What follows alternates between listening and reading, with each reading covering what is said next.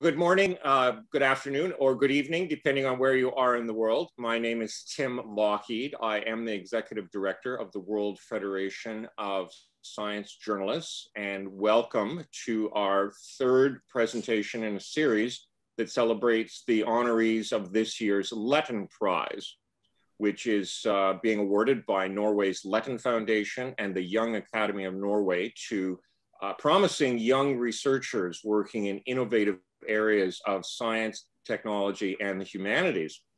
Um, the, uh, we're very pleased today to have Ramona Villaresa. Is that, uh, is that close enough, uh, Ramona? Vijeyarasa, correct. Thanks, Tim. Vijeyarasa, okay. Uh, Pakinam has probably practiced this more than I have. Uh, she is going to be interviewed today by uh, a science journalist, Pakinam Amer, uh, whom we are pleased to welcome as a member of the World Federation of Science Journalists. Pakinam, please take it away. All right, awesome. So Tim, I, I also want to add that Ramona is a senior lecturer of law at the University of Technology in Sydney, Australia, and a current research fellow at the Women's Leadership Institute in Australia. Um, and the the fascinating thing that Ramona did, you know, among her many achievements, is that she developed um, a tool called the Gender Legislative Index, and basically it's a method of measuring the effectiveness of gender laws um, you know, across different countries um, in response to men's and women's different needs and interests and in line with their lived in experiences. Um, and although like, um, like we said in the introduction, it's, it's, it's a tool that is created to advance uh, gender equality um, and as, as a way of setting a benchmark for gender specific laws, it could also be applied to other areas of the law. I mean, to most areas of the law. Um, and in fact, it has been applied to hundreds of laws across uh, the Philippines, uh, Sri Lanka, Indonesia, and Australia. Um, and today, this is mainly what we're here to talk about. Uh, but we're also going to talk about uh, Ramona's journey leading up to creating this tool. Um, so yeah, so before I kind of jump into GLI, um, which uh, is short for uh, the Gender Legislative Index and its says and how it actually works, um, I was curious about the journey that brought you to this unique point um, at the intersection of technology and gender law, uh, specifically women's rights law. Um, for instance, I know, Ramona, that you come from corporate um, before you shifted to international human rights law and you went to NYU. And I would personally love if we can provide some context uh, into that experience, work and otherwise, that led you on the path to want to transform laws in the innovative way that you're doing now. So if you can tell me a bit about this journey, I'd really appreciate it. Thank you very much, Pakinam, for such a wonderful and rich introduction. Um, and I suppose NYU really was a turning point because before joining the University of Technology Sydney four and a half years ago, I was in civil society really for around a decade. Um, so I did leave corporate law in Sydney to do my master's in international law at NYU. And it was one of those very rich experiences, not just because of NYU being um, such a brilliant institution, but because I was really surrounded by um, international human rights lawyers who had expertise in human rights, were working within the UN system, and plenty of opportunities to work with people who had witnessed firsthand um, the potential of international human rights law and how to bridge that gap between the people uh, most affected by rights violations. After my time at NYU, or during my time at NYU, actually, I, I had a chance to intern. I interned at the Center for Battered Women's Legal Services in New York and spent time working with women who were seeking asylum so they could stay in the US and not have to stay in abusive or violent relationships just to maintain their visa status. I completed my master's at NYU and went on to work at the International Center for Transitional Justice and the Center for Reproductive Rights, both sort of leading global human rights advocacy NGOs. So all of this really brought to me a sense of the power of, in this case, particularly international law to bring about change. I left New York though, and I went to work at the International Organization for Migration in Vietnam and Ukraine before heading the women's rights team at ActionAid International. So I was at ActionAid for six years. ActionAid is a global NGO that fights poverty worldwide and at the time was working in over 40 countries. So it was this incredible experience working on a global scale and, and meeting with hundreds of women, literally hundreds of women over that time. And I really got to see how much these women felt the law was not working for them, how rarely the law was designed with women in mind. You know, I met with women who lived on the floating villages of Cambodia and they would try to access reproductive health care in unregulated hospitals where there were two doctors servicing thousands of people, or women who were living in the slums of Rio who were married to or, or partnered to drug lords. So they really had no recourse to the formal law enforcement if they were trying to escape domestic violence. I met with you know women in the universities of Liberia who were effectively threatened and required to provide sex in exchange for better grades. So all of these women would tell these stories that showed the ineffectiveness of law, but I still left that with this sense that the law could do better, with a with a belief in, in the law. I've wanted to be a lawyer my entire life since I was as young as uh, 11 or 12 years old. So I still believe the law could do better. Um, but I had the stories at hand to tell me the ways in which the law was really failing the women that the law was meant to really protect. Um, so, in your opinion, what was the reason why the laws were failing women you know across the globe. So it, it, it's, it's not like it's one country or one culture. It's something that is pretty universal and pretty global. And if you talk to women you know whether it's in egypt sri lanka or the us um, they generally share similar laws when it comes to you know laws uh, local or uh, you know national laws failing them. And i'm wondering you know as someone who doesn't come from law as, as someone who comes from media or from a very different background um, why is that, and and how fast or slow does laws evolve in general in response to people's uh, needs and experiences? I think that's a great question, and I, and I think it all hints at this global problem that is gender inequality.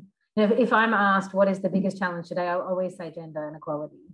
And it's not that I don't see the problems we face when it comes to you know unex- unexplained diseases and, and viruses or climate change. You know, there's many challenges that exist and face the world on a global scale.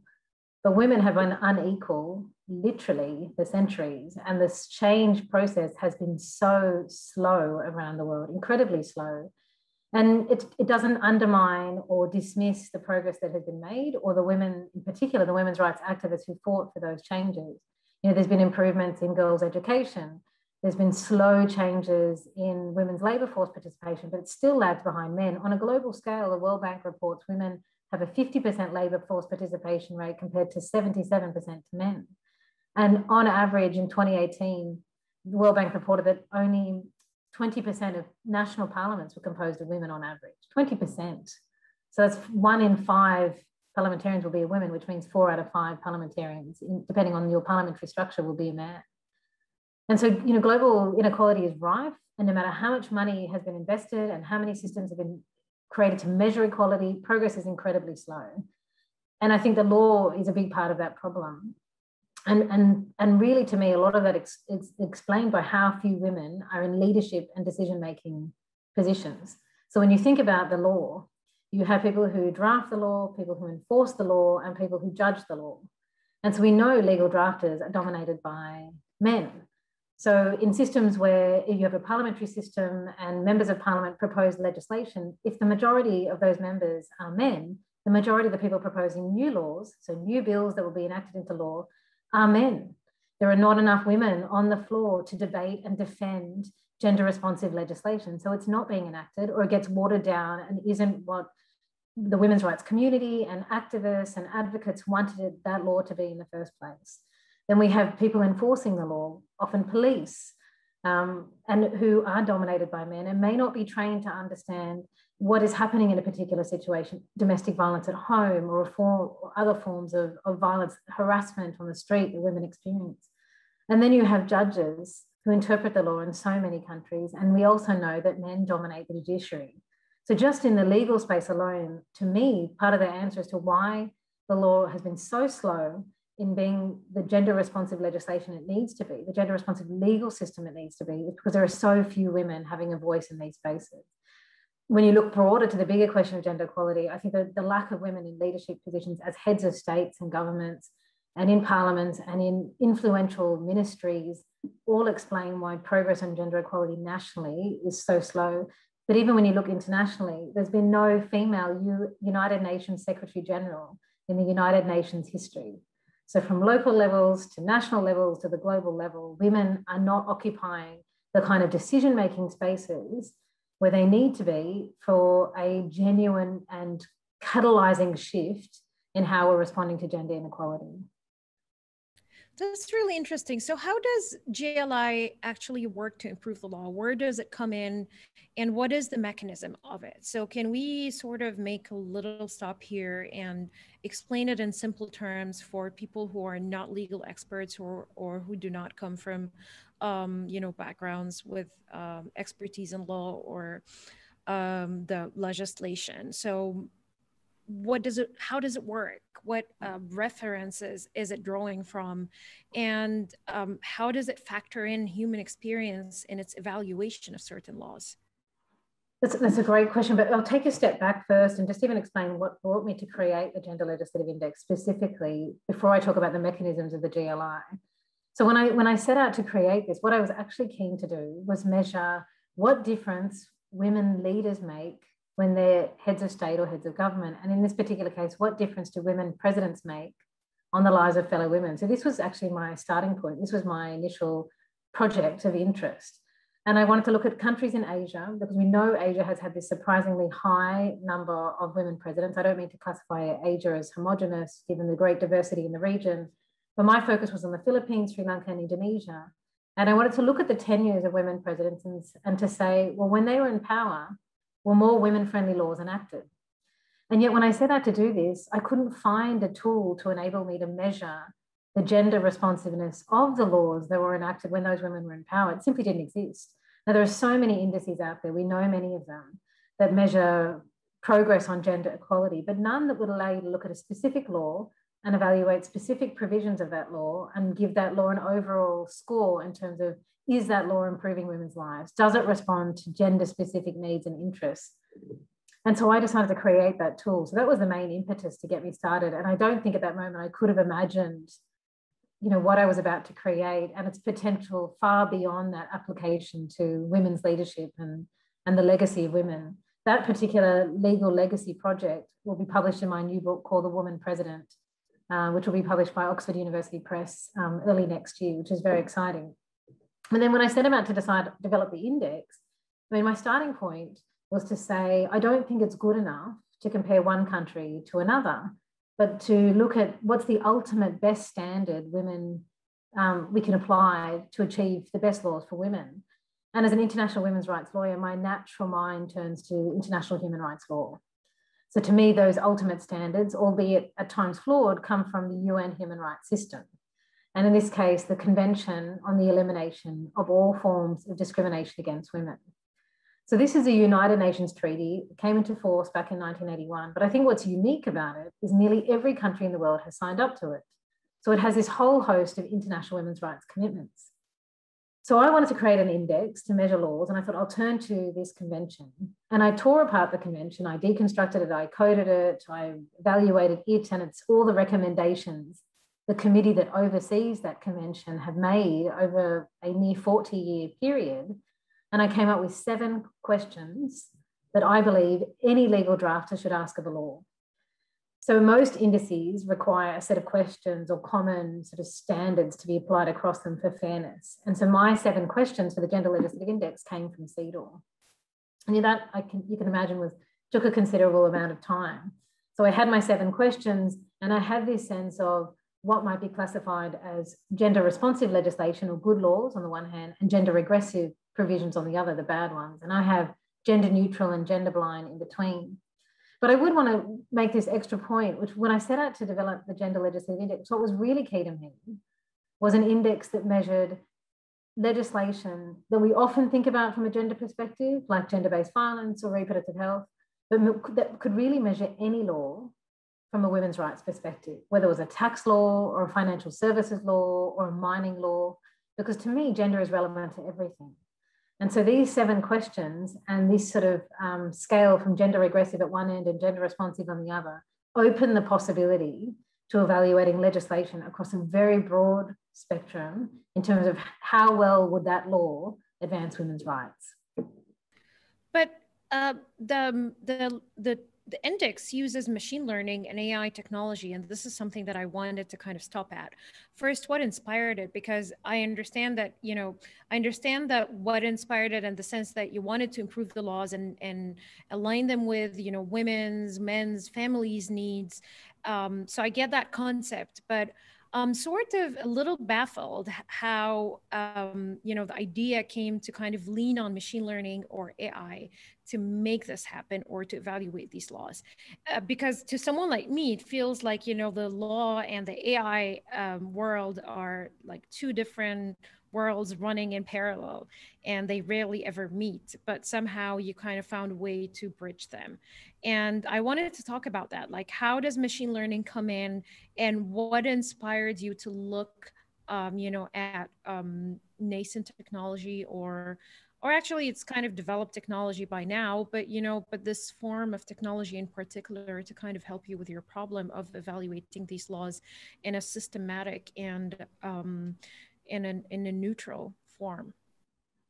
And that's such a great point because I think AI and certainly human rights are often seen as diametrically opposed. If anything, most of the debates around AI these days are what are the human rights implications of AI, um, making determinations about people's lives and accessing people's data. So really, it's, it's such an um, important point you raise.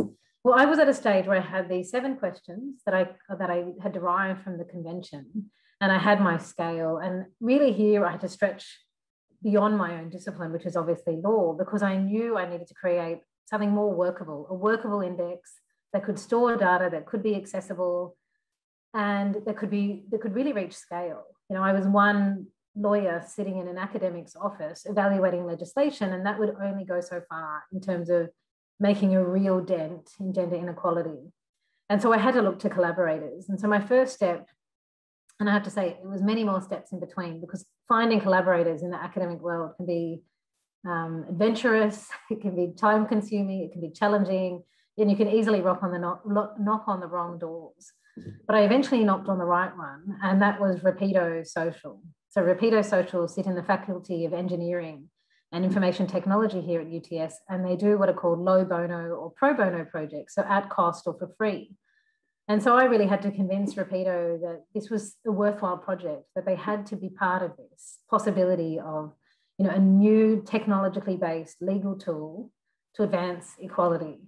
And so I got them on board, and Rapido were able to take my index and my concepts and work with me to create a workable index. And so the way the index functions is that human evaluators, myself included, we sit in a room and we literally comb through legislation. We read every provision of every law and we evaluate those provisions as either regressive on the one end or responsive on the other against those seven questions. And then us as human evaluators, we give an overall score for a law. But as humans, we bring a lot of bias. You know, are you a woman? That brings bias. Are you a person of color? Are you a native English speaker or a non native English speaker? Are you married? Are you unmarried? Are you a migrant? Many women's rights experts have more expertise in some areas like gender based violence over tax. So, all of these adds to the bias behind our evaluation. So, as human evaluators, we evaluated the laws, and, and the AI really served two purposes.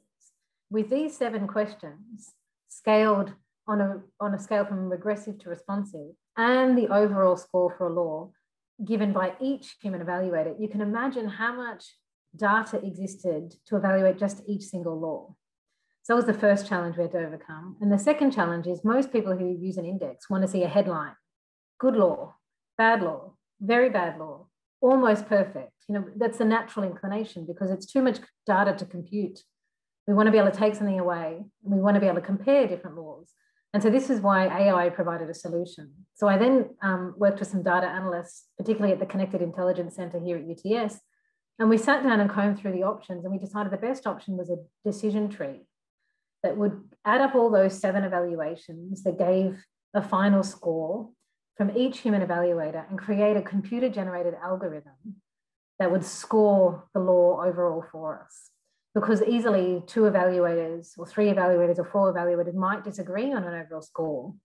But an algorithm with AI capacity has the potential to compute all of those little pieces of chains that each human evaluator has entered into the system and come up with that overall score for the law. On top of which, we taught the algorithm, which, which is typical in data science, using snippets of the data. And the algorithm treated a law evaluated in relation to tax the same as a law evaluated in relation to reproductive health, the same way as it would a law evaluated in relation to financial services. So it had an element of reducing some of the human bias that existed when giving that overall score for the law. So what we ended up with was this sort of um, beautiful and quite unique, I believe, marriage between law, technology, and data science, um, which I think is what makes the Gender Legislative Index, you know, quite cutting edge, but also really exciting as a new way to try to fight gender inequality. And I'm trying to imagine like the amount of information and data that you had to feed the models in order to um, get reliable results. Um, and it must be really huge. So, how long did it take you to build the algorithm, uh, train the model, and test them? Um, you know, I think it's when I reflect on the pilot period, in some ways it was relatively short. You know, we piloted the whole exercise almost in a nine month to one year period.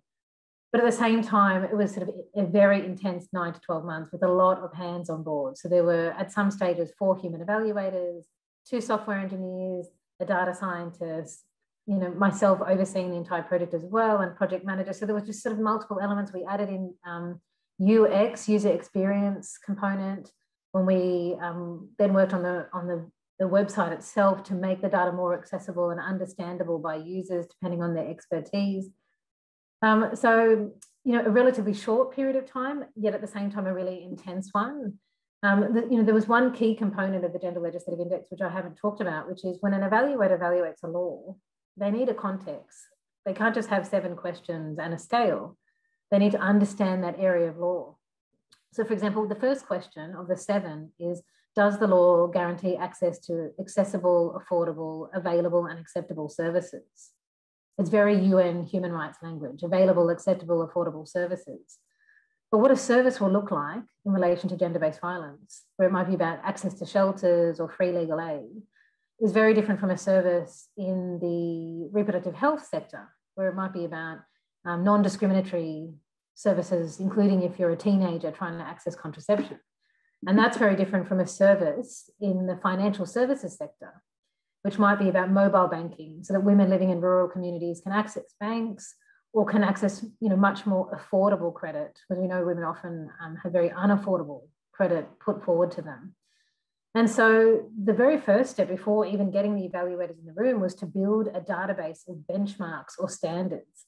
So the human evaluators would have the seven questions and the scales, but also a set of criteria against which to think through does this law really make women's lives better or not? Does this law meet international standards? So that was a whole other exercise before even this piloting period, where around, you know, myself and, and, and seven or so research assistants worked together to comb through international human rights conventions, international labor organization conventions, treaties, to come up with these benchmarks to give meaning for evaluators to, to make you know, evidence-based and sound decisions when evaluating the law in the first place. And I think what's really exciting is the Gender Legislative Index makes all of those benchmarks publicly available. They're relevant regardless of which country you come from, even if your laws haven't been evaluated. And pieced together, they can tell a legislator this is what a good law should look like. You know, if, if there's time, I can tell you, you know, in the field of labor law, the benchmarks say things like women should have access to union representation, they should have access to union leadership, they should have specific access to vocational training in areas where they're often excluded. The workplace should promote equality. There should be no discrimination in pay. There should be no discrimination in promotions. There should be access to complaints for sexual harassment. There should be um, appeal mechanisms if those complaint mechanisms don't work. So you can imagine, you know, for each area of law, we're talking over 50 benchmarks that piece together, explain or, or illustrate the way the law should function at its optimum. So if you have a legislator out there who says, you know, I want to pass laws that work well for women, I want to do better, these benchmarks are sort of your, your blueprint to get you there very easily for those um, willing and dedicated you know, legislators out there who, who want the law to work more effectively. And that's you know, even for the unevaluated countries. So you've already applied uh, GLI to laws across four different countries. Uh, did any patterns emerge or stand out when you started applying GLI in the wild? Like either, um, you know, a surprising um, uh, result or observation or, or, or, a consistent one, regardless of whether GLI was applied in Indonesia or in Australia, for instance? Mm-hmm. I suppose I'll start with a consistent pattern, which is really why I created the Gender Legislative Index in the first place. And I can give you a concrete example. The Gender Legislative Index has evaluated three laws from the Philippines, Indonesia, and Sri Lanka, all on domestic violence. And, you know, for some largely unexplained reason, all three countries enacted domestic violence laws right in the same time period. And I haven't really been able to find an international justification for it. Was it the MDGs plus five? Was it that the countries had advocates who were meeting together and sharing knowledge?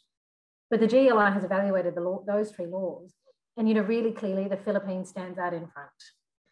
And the Indonesian and Sri Lankan laws lag behind. And there's various reasons for this. So, you know, the really great part about the Gender Legislative Index, it can, it can highlight those countries that are doing well and it can show countries like Indonesia, this is what you might need to do to reform your particular law on gender based violence. Um, and that's really what I wanted to set out to do. And it's a big challenge in this space. You know, I, I know I've been to all three countries, and that was an added um, element to the creation of the Gender Legislative Index. In the pre COVID days when we could still freely travel, I had the privilege of going to all three countries and meeting with activists and legislators and interviewing them. And you know, I know a lot of the Filipino women's rights advocates don't want the Philippines to be branded as a, as a great country when it comes to legislation because they're still advocating for more reform. They want to see further changes. But the data shows, you know, relative to the other two countries, the Philippines stands out. So I think the first pattern is yes, it, it proves the index can highlight good performers and show some of the weaker performers the ways in which they can improve and get better. I think the second thing I would say is that it's not so easy to say this is a good law and this is a bad law. I think it's really clear that bad provisions, gender regressive provisions, can exist in good laws. And even gender responsive provisions can be buried somewhere in a, in a gender regressive or, or poor performing law. And so it's not often clear cut. And I think it's particularly key to look out for those you know, regressive provisions in good laws because they might stop the law from having the intended effect. So, for example, Sri Lanka has a law that is trying to address violence against students and educators in the tertiary education system. But there are no protections for the women who complain for their confidentiality. And that's been a major bar for a lot of women coming forward and saying, look, I've suffered harassment or violence in, in the education sector. And so that, that, uh, that lack of that provision is really undermining the law's effectiveness. Sri Lanka also has a domestic violence law where, where judges can order mediation even when there's been accusations of violence and a woman wants to separate from her partner. And that completely goes against international standards, sort of court ordered mediation in context of violence. And so that provision again really undermines the ability of women to trust the justice system to do right by them.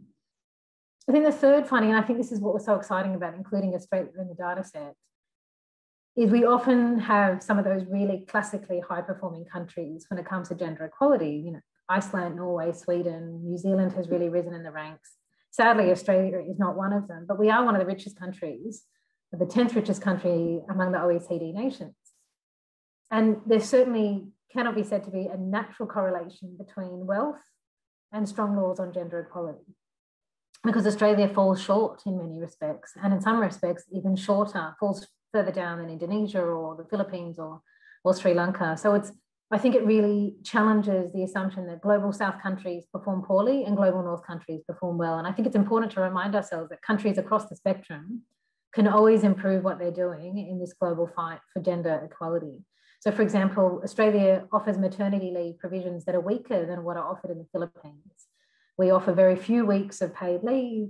Uh, we have a system that encourages women to be the primary carers and not an equal sharing of responsibility between men and women. And so, for such a wealthy country and such a um, de- developed country, it doesn't natu- naturally mean that our laws are going to be gender responsive. They may be drafted better and there may be strong cohesion within the law from a technical legal perspective, but it doesn't mean our laws are necessarily going to advance women's rights more than in countries in the global south. So, how can we like based on all what you're saying, how can we start sharing or streamlining this tool in other countries, say, um, you know, in Africa or the Middle East or the US or China, um, you know, while preserving the nuances, you know, of, of evaluating of how, you know, the system evaluates these laws while building trust in it um, and also training, you know, legislators or advocates to use it. Um, and, and is there a way to kind of use the comparative aspect of the tool in order to kind of improve laws better especially if you know two countries have very similar you know environments or settings or references for their laws? Is there a way to kind of utilize the fact that it it, it can um, you know work across different countries and there is a comparative aspect that perhaps might come useful um, you know in amending or changing or uh, you know improving laws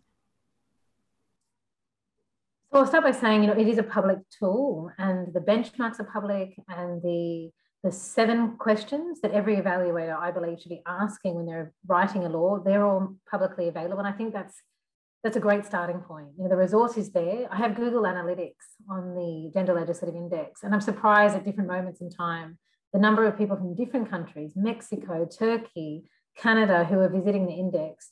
Um, in one particular month, there were multiple, near the hundreds visitors from Turkey. And I thought, what is happening in Turkey right now? Is there a conference, a women's rights event? Is a particular law being drafting, drafted that is encouraging all those people from Turkey to visit the site? So I think there's a, there's, it's slowly getting visibility, and I hope more and more people see it because it's got so much potential alone in, in what's there. In terms of um, the, your question around countries um, that, that borrow from each other. I think this is an excellent point because one of the things I've noticed in all my period of advocacy is that countries are very comfortable learning from near neighbors. And I use the term neighbors loosely to mean you know, geographic neighbors, but also countries where they feel some sort of affiliation or relationship. When I was meeting with Indonesian advocates, they often said to me, Oh, we actually had a women's rights expert from Turkey and Malaysia come here and help us draft our, our law on gender based violence because of obviously the countries that are Muslim countries and they, they feel that there's a resonance um, and a relevance in looking and borrowing lessons and ideas for Indonesia, Malaysia, and, and Turkey. So I think the more countries that are in the database, the more countries whose laws are evaluated, the more countries can start to download evaluations of the good laws and, and utilize them. And when I mentioned earlier that we spent quite a bit of time working on the user experience, my number one priority was searchability because I wanted people who come to the Gender Legislative Index to be able to look for laws and, and find the highest ranking law and to be able to search by country and by area of law to get out the laws and download them and, and take them away with them that were really performing well. Because it's it's not it may it may be some time off before every law around the world that's you know, considered really relevant is evaluated in the system. But what there is now are good examples that can be taken um, by countries that see a resonance from the countries in the system and, and use to advance or improve their laws and, and push for law reform domestically. And um, and this is something that we discussed earlier when we were prepping together uh, for this interview and it's it's it's really interesting the more that i think about it how gli you know um, as it's being used in different settings, the kind of challenges that might arise. So I'm thinking of, you know, culture-based laws, uh, religion-based laws uh, that may or may not fare well according to the benchmarks set by GLI.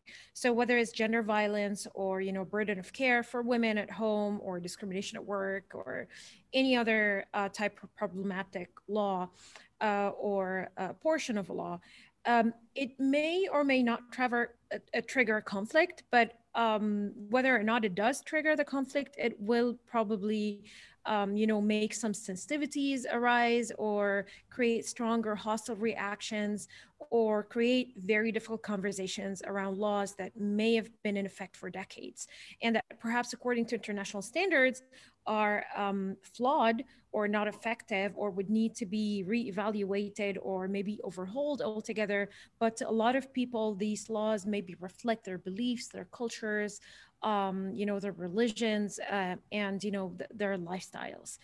And uh, don't GLI is an incredibly useful tool, but I'm trying to imagine that depending on the setting, it may be iconoclastic or revolutionary even. So in practice, how do you how do you plan on guiding legislators and and advocates or whoever uses GLI, you know, to to navigate these murky waters and and deal with these challenges to make it um, a more acceptable tool? Um, well, I hope it's um, revolutionary, Pakinam. I think that's exactly where we where we need to be, pushing the boundaries and, and pushing countries to reach the highest standard they can in what they're doing for women. But I suppose I would start by saying, you know, I think as someone who came comes from a very privileged background, I'm also conscious of diversity, even within you know the very enormous category of women. You know, I have um, parents who are migrants to Australia, who were themselves born in Sri Lanka, born in Malaysia, and my grandparents are from Sri Lanka. So I'm first generation Australian. And I think it's important to have a consciousness of religious and cultural diversity and linguistic diversity.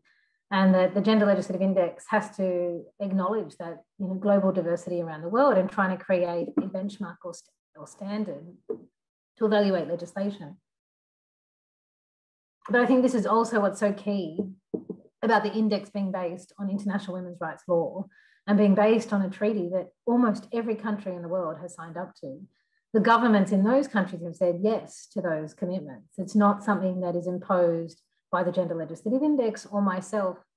And I think the biggest part of that is every country is held to the same standard. You know, we're not treating one country any harsher than another, but every country is being asked to make those global commitments. So then the natural question to ask is, well, what do those commitments mean to women in those countries?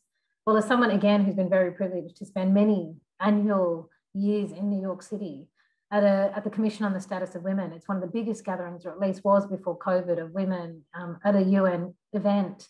Women come from around the world to lobby their governments to get the right language in the document that emerges at the end of that space. I mean, women advocates from every country believe in and utilize the UN system, including the Convention on the Elimination of All Forms of Discrimination Against Women.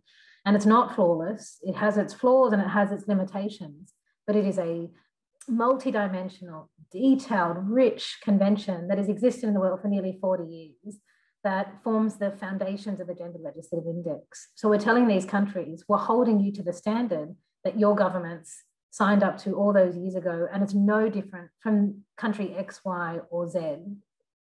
I think what's also really nice about the countries that have been piloted in the index is they are so diverse. You know, Indonesia is um, a majority Muslim country, the Philippines majority Catholic, and Sri Lanka majority Buddhist. And while these three Asian countries share a lot of commonalities in terms of you know colonial histories and, and all being Asian countries, they are extremely diverse. And yet they show the GLI still can work as a successful tool in their country context, including evaluating laws that have been translated, in this case, from Indonesia to English. And so I think, you know, the, the choice of countries and what we have now shows that the limitations or hesitancies can, can be justified and overcome. And sort of the potential in front of us is really quite vast. I completely agree.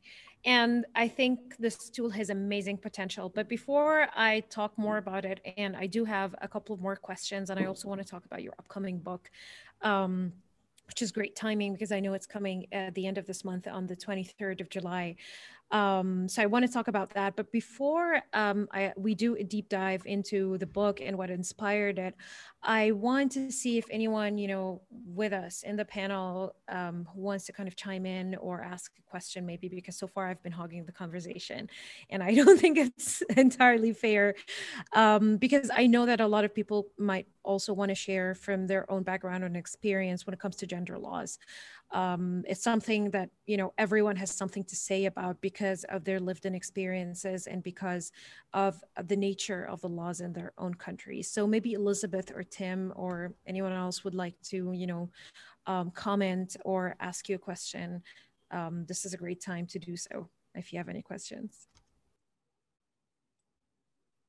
Um, well first of all thank you so much for uh, everything you've spoken around. I think it's uh, so fascinating and so interesting, and it's a great opportunity to. We, I think a lot of us are aware of a lot of these things, but we don't really know the facts and uh, and all of that. So this is incredibly interesting. And I was just reflecting on a lot of things that you've said, but I will just uh, start with this um, because we're talking also about you know having more women in positions of leadership, and that's something I feel myself very strongly uh, about, and I try to also do my best not only to involve myself in those positions as scary as it, can be um, but sometimes you know it's also tricky because you know having a woman per, a woman per se is not necessarily something that is going to have a good effect on women right? We we know that there are uh, women in leadership positions that actually have very conservative views and that are not really working for women or for the majority of women with all the degrees of um,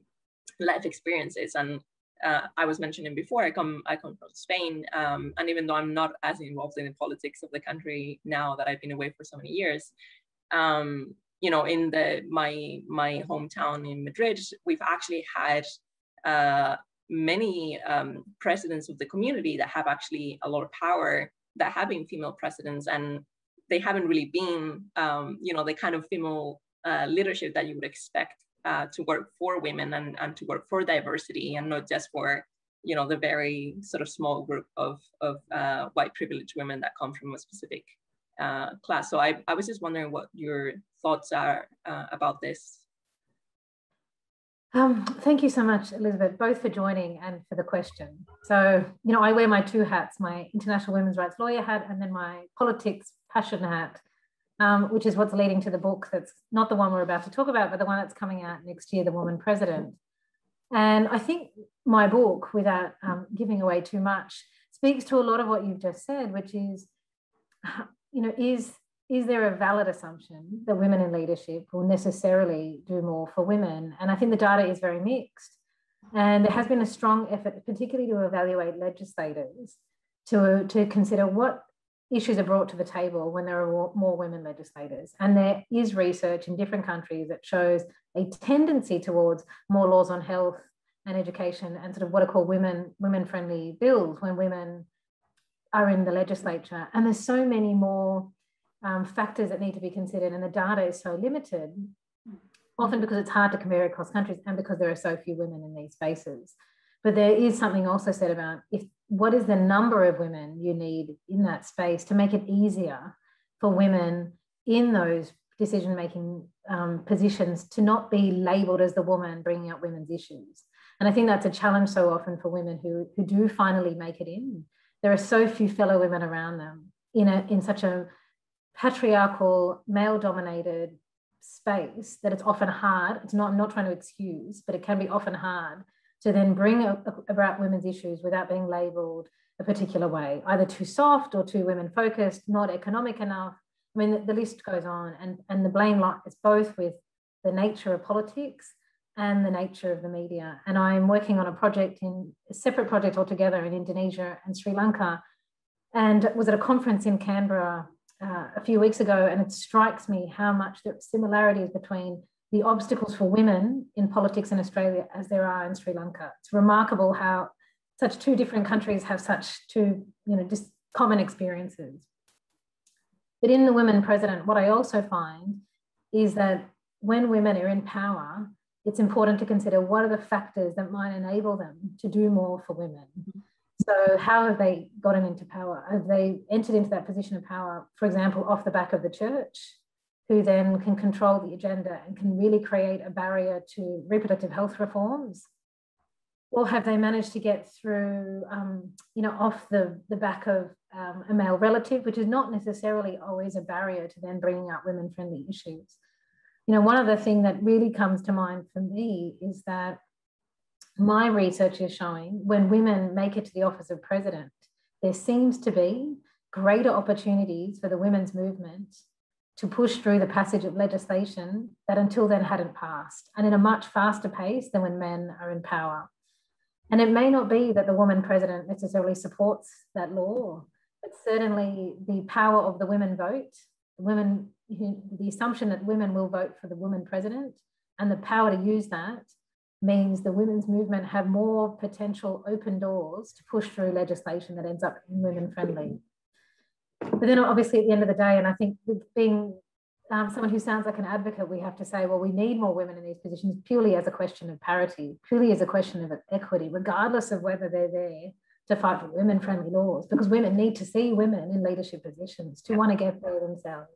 Yeah, and I agree with that. I'm, I mean, I'm, I feel a, a full supporter of the fact that you can become what you can see.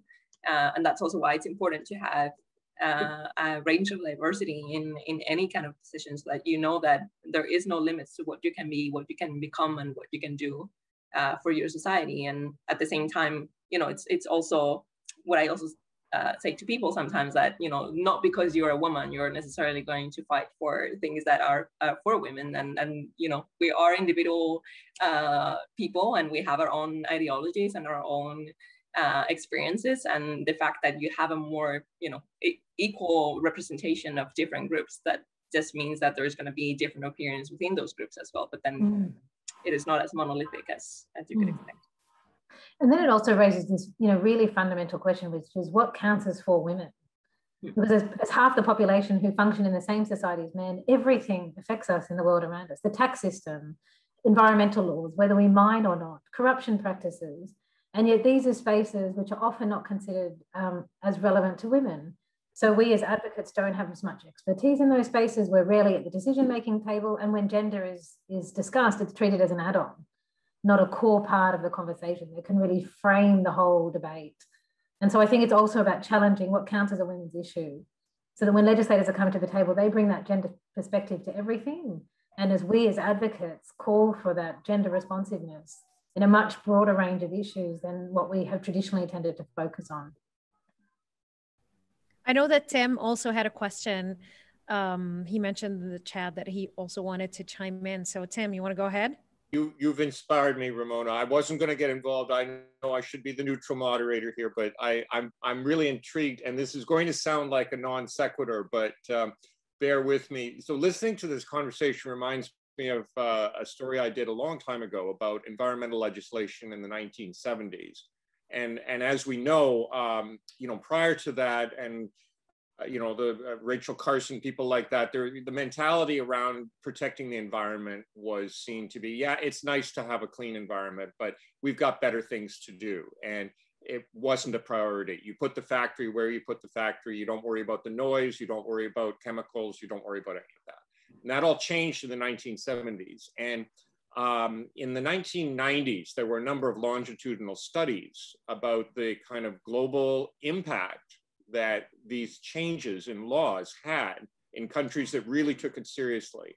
And um, admittedly, correlation is not causation, but uh, in countries that really embrace this, you had uh, all the markers of improved health, uh, improved economic output, um, all kinds of social cohesion came together. Um, so I would like to ask you, uh, you know, and if this goes beyond the scope of, of what you've been talking about, just let me know. But, you know, what you're talking about here is a similar kind of fundamental alteration in the way the legal system uh, respects half the population. And um, can you foresee those same kinds of impacts, whether they're economic or social, that would benefit countries that really embrace this? You know, things that might not be immediately obvious in the way that people in the 1970s just wanted to clean up a place. They weren't selling it on the basis of, oh, this will improve our economic output. Uh, can you see similar changes 20, 30, 50 years from now in the places that are really embracing the changes you're talking about?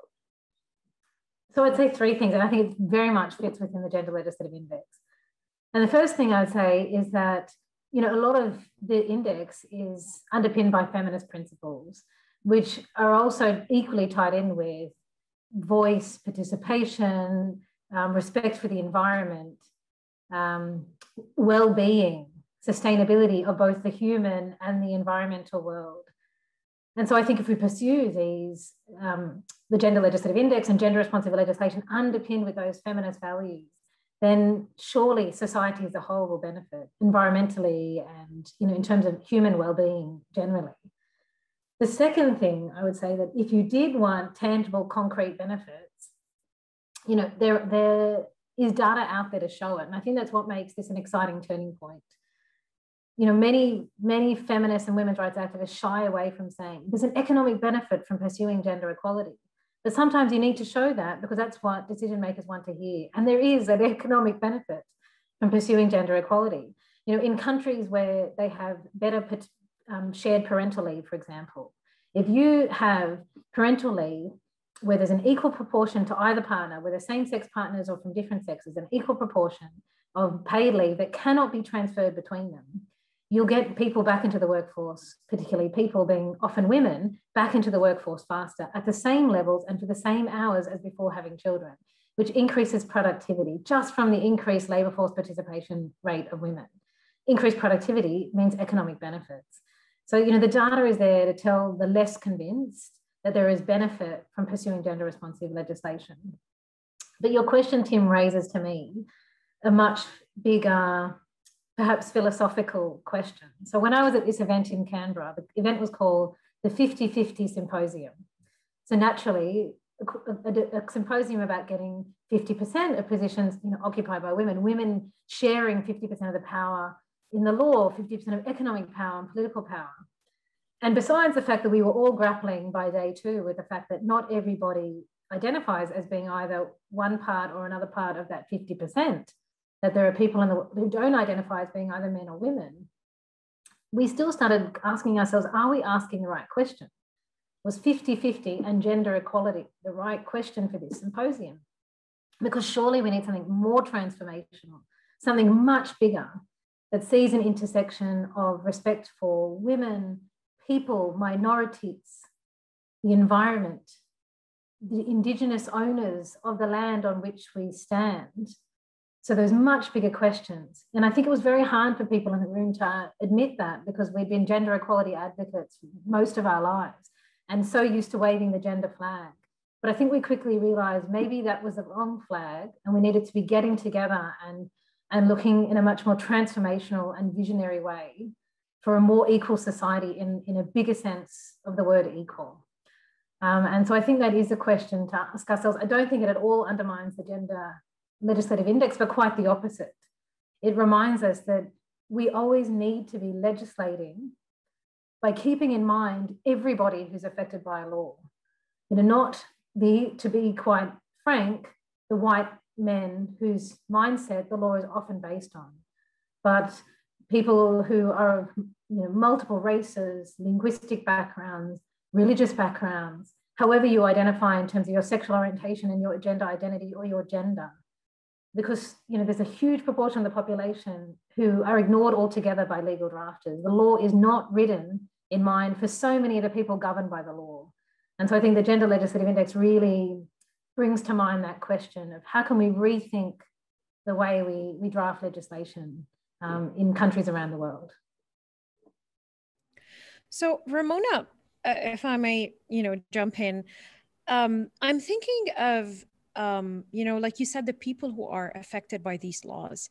And um, I'm thinking in, you know, in, in, in a regional context, you know, in, in you know, in, in the region that I come from, it's pretty hard to kind of push for change in laws or improvement in laws, especially if uh, people are a are not aware of you know how these laws are affecting i mean of the specifics of, of how these laws are affecting them um, but also um, because of lack of participation or um, or lack of awareness or you know or a general feeling of helplessness you know the idea that you know it's just it's almost sometimes it feels like the laws are set in stone that it's so mm. hard to kind of you know start improving or you don't even know where to begin and i'm thinking you know a lot of legislators in many countries might be resistant to that kind of change. So it's not uh, it's, it's, not just that the tool has to be available but you know there has to be will to change as well and to review the laws and revise the laws. And that takes a lot of work and that takes a lot of resources too. And i'm thinking how can we make a place for a tool like gli in a space like that? Should it say be used for awareness purposes or for advocacy in the sense that you know uh, instead of pushing legislators to use it as a tool to kind of improve laws, then maybe we can focus on another area where we can um, you know, engage, um, you know, other participants because it takes a village to change not just the people who are involved in the law, but maybe engage participants like media, like the people who are affected by the laws, and um, you know other sectors of society to kind of use this tool to kind of push for change. Sorry, does Absolutely. this question make sense? No, it completely makes sense. Absolutely, the gender legislative index has to be used as a tool for advocacy, and I think you know when I started the conversation, I was talking about how slow progress has been globally on gender equality. Yes, we've got some much we're in a much better place. You know, women can vote in every country around the world now. Saudi Arabia, you know, joined the ranks in 2015. But of course, women should be able to vote in every country around the world. So, you know, we, we are nowhere near where we need to be, but there's a much stronger gender consciousness, including among the media, including among um, people who write school curriculums, which is really where change can happen if you get into the education system and educate young people today differently. And I think the Gender Legislative Index definitely can be part of that because it can change the conversation. So it doesn't, it doesn't just have to be used by legislators and legal advocates and um, women's rights NGOs seeking law reform, but it can be used as a tool to help people re- rethink about the law. And, and, you know, I think the law in many countries is set up in a way that seems, as you said, set in concrete and very um, untouchable by many people. It's interesting the way you frame that because there's a law in Australia that was evaluated, which is the Work Health and Safety Act and I reviewed this law, and it's really about it defines safety as both physical and psychological. And so the inclusion of psychological safety really opens the door. But the whole legislation, the whole piece of legislation is focused on accidents in the workplace, spillages on the factory floor, physical um, safety. So it doesn't talk about sexual harassment at work or any of the other psychological harms that will happen in the workplace or reference other laws that do. And I re- evaluated and I thought, oh, that's really strange. Am I missing something here? And I reread the law and I reread it. And even after completing the evaluation, I started doubting myself. Am I understanding this law incorrectly? And I came to the conclusion I'm not understanding the law incorrectly. The legislators who sat in the room to draft it simply just had a very narrow focus, but they didn't need to have that narrow focus. They could have had a different mindset. They could have included other psychological harms in the workplace in the definition of safety. There was nothing stopping them from doing that. They simply chose not to. And I don't think they necessarily didn't want to, it just wasn't part of the conversation. It wasn't even part of their mindset. And I think the Gender Legislative Index and conversations like these have the potential to change the way people think about the law or the way the law should work and the possibility behind the law, whether they're legislative drafters or people who are affected by the law. And I think if we have those conversations, it makes the law seem less intimidating and far out of reach and far more relevant, and people can better understand the way the law is shaping their lives, but the way the law doesn't need to be the way that it so often is. So, speaking of widening the scope and being in conversations with others, um, you know, about how, um, you know, loss can improve, I know that you know your upcoming book. Um, you know, like I said, it's coming later this month. Uh, it's on international women's rights law and gender responsive legislation, and I know that in order to create the infrastructure for this book, you were in conversation yourself with a lot of gender equality experts across different areas of laws and from all backgrounds and from different countries. And you discussed, you know, uh, different types of laws from gender-based, um, you know, laws that look at gender-based violence to laws that address corruption or taxation or the environment. And I'm, I'm wondering, I mean, how did this experience kind of change you or change your perspective of um, of of of how of what we need in order to um, you know move further or use something like GLI to kind of um, really create the change that we want to create. So if you can just you know tell me about your experience putting your heads together with like-minded scholars about advancing gender equality. Sure. So um, you know the the book really, or the symposium that led to the book was thanks to the Academy of the Social Sciences of Australia.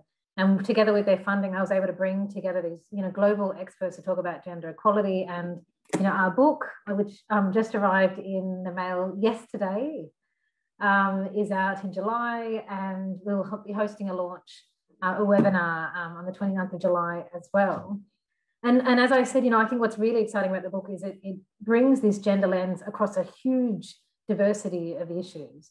You know, so there's a there's this, um, analysis of labor laws, corruption laws, environmental laws, all from a gender perspective, which is so rare because you know even in my own history working career working um, as a women's rights advocates we tend to really focus on those areas of law like gender-based violence or, or reproductive health and we don't often look at gender in these other spaces i think in terms of the lesson I, it, I think pulling everybody together you know on the one hand you can have this approach where you work slowly to reform existing laws and i think that is a valid approach we have, you know, most countries today already have their, their legal systems very strongly set in paper. Few countries have a blank paper to start with. You'd have to be a new nation.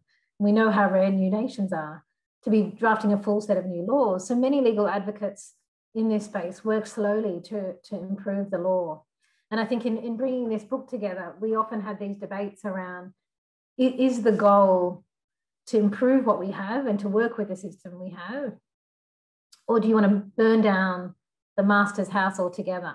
Because the master's tools can never be used to, to fix the master's house, drawing from you know civil rights advocate Audre Lorde. And I think we found ourselves often swaying between those two positions. You know, times we thought, no, we need to think more transformational. People need to think entirely differently about the legal system and about writing laws to really get gender responsive outcomes. And at other times we thought, okay, let's work. Let's extend the number of weeks of paid parental leave. Let's better train the police so they are identifying, you know, women victims of gender-based violence. Let's get more women in the international um, debates so that they can make sure new treaties really incorporate a gender perspective. Uh, and I think that's a, you know, an ongoing challenge because at the end of the day, the, legal system is so, as you say, firm and concrete. And so we need to find those right moments when we work with the system we have to improve the laws for women and those other moments where we really push to burn down the house altogether and seek something far more transformational to really hasten the progress that we're making um, to fight gender inequality and sort of those sorts of um, themes come out in the book so i no i was just saying that the work that you're doing is incredible and i'm i'm personally th- thoroughly impressed uh, you know by the amount of effort that was put into it and you know the potential of it as well um, and before I ask anyone else if they have more questions, I just want to say that Ramona's book will be available uh, from Taylor and Francis on the 23rd of July. Uh, it's called International Women's Rights Law and Gender Equality Making the Law Work for Women. And you can actually pre order it right now, and it will arrive on the 23rd uh, I personally can't wait to read it and to kind of dive into this more because we can talk about this forever. I mean, um, the amount of potential, like I said, for GLI and for improving gender laws across the world. It's almost, you know, how um, how flawed gender laws are. It's almost like the great equalizer, you know, maybe after death and taxes. But you know, it's one of those things that is uh, that is there regardless of you know the context of of the setting or of where you are. I mean. Um, it's there is always even room for improvement, even for countries who have made a lot of advancement on women's rights laws and gender laws. Um, and so, I mean, uh, on behalf of many women, I'm I'm grateful for uh, women like you who are making, you know, um, amazing um, you know amazing work but also you know using cutting edge technology to kind of make it more accessible and make it more streamlined and make it more global um, so I, am not sure if Tim or Elisabet or anyone else want to chime in or have any more uh, questions or comments uh, before we wrap up. But if you do, I mean, feel free to jump in. I just want to thank you again for uh, for this opportunity. It was really great to to listen to you and to be able to chat with you. And I really look forward now to ordering your book. So I'll do that.